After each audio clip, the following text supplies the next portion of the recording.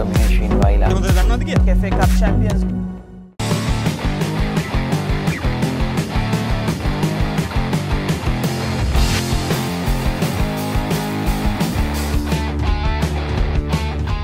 පසුගේ සතියේදී පාසල් සහ ජාත්‍යන්තර රග්බි පිටිය අතුණු සුමුණා. අපි බලමු හරියටම සිද්ධ වුණේ මොනවද කියලා. මේ රග්බි පිටිය.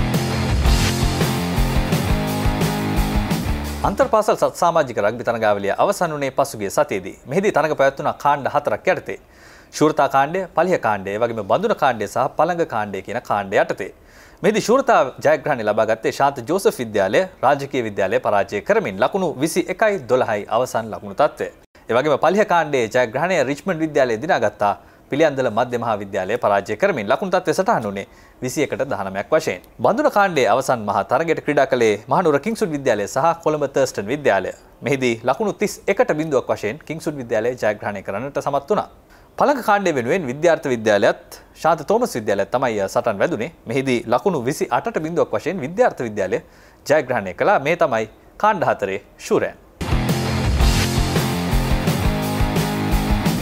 එවගේම පැරිස් ක්‍රීඩාවලල පැවැත්වුණා පසුගිය සතියේදී ප්‍රංශයේදී මෙහිදී ශ්‍රී ලංකා රග්බි කණ්ඩායම සහභාගී වුණා ඊට ලයන්ස් යන නමින් ලංකා ලයන්ස් කියන ක්‍රීඩා සමාජය වශයෙන්. මෙහිදී තරගාවලියට සහභාගී වුණේ ආසියානු, ඒ වගේම අප්‍රිකානු, ඒ වගේම ප්‍රංශ සමාජ කිහිපයක් ශ්‍රී ලංකාව ශූරයන් ලෙස තමයි මෙම තරගාවලිය අවසන් කළේ. මෙය සැලකෙන්නේ සාමාන්‍යයෙන් ආසියානු තරගාවලියට සූදානමක් වශයෙන් ඉදිරියේදී අගෝස්තු මාසයේදී පැවැත්වීමට නියමිතයි ආසියානු රග්බි තරගාවලිය සත් සාමාජික රග්බි තරගාවලිය. ඉතින් ශ්‍රී ලංකා කණ්ඩායම ජයග්‍රහණය කළේ අවසන් තරගයේදී ප්‍රංශ බැග්නූ කියන කණ්ඩායම හමුවේ ලකුණු 50ට බිඳුවක් වශයෙන්. මෙය ඉතින් ආසියානු තරගාවලියට සහභාගී වන ශ්‍රී ලංකා කණ්ඩායමට හොඳ සූදානමක් වනු ඇති.